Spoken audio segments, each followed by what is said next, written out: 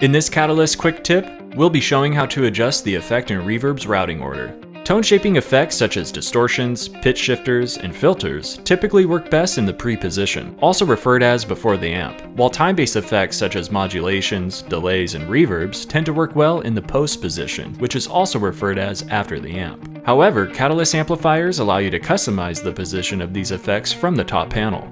To adjust the placement of an effect, first enable the effect by pressing the effect button. To place the effect in the pre-position, press hold the effect button and turn the effect knob to below 12 o'clock. To place the effect in the post position, press hold the effect button and turn the effect knob above 12 o'clock. The same steps apply for adjusting the reverb's routing order. To place the reverb in the pre-position, first activate the reverb by pressing the reverb button. Then press hold the reverb button and turn its knob below 12 o'clock. To place the reverb in the post position, press hold its button and turn the knob above 12 o'clock.